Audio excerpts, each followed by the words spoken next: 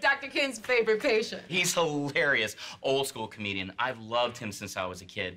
I did one of his routines word for word in my fourth grade talent show. it did not go well. But in my defense, I thought he actually went motorboating with Charo. Ta-da! How's my favorite pint-sized doc? Huh? Look at this guy. He's so small he could model for trophies.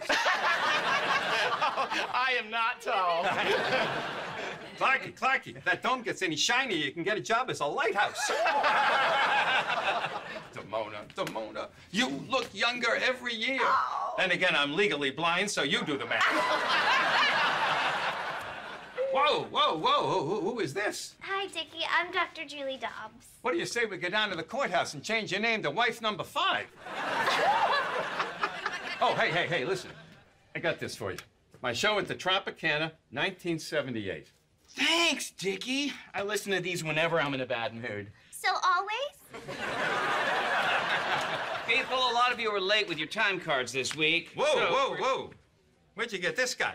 Bureaucrats are us? Okay, okay, Dicky. Let's get you to an exam room. Seriously, if red tape and boredom had a kid, it would be that guy.